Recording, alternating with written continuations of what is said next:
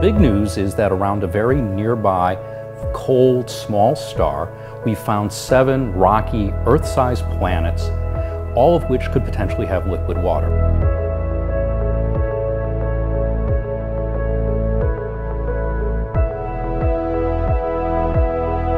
For me, it's mind-blowing.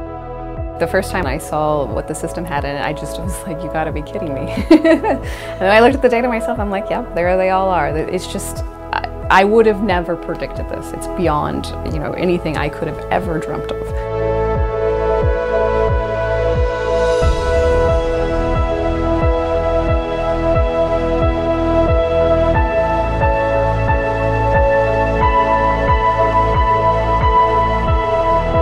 I felt super excited, amazed by the existence, the very existence of the system was, was kind of, of, yeah, of shock.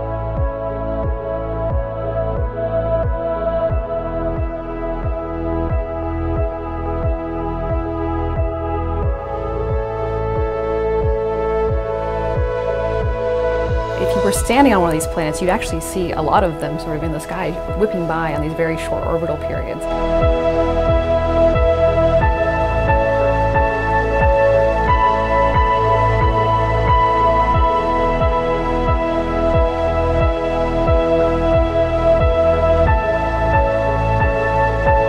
It is an excellent, fantastic discovery.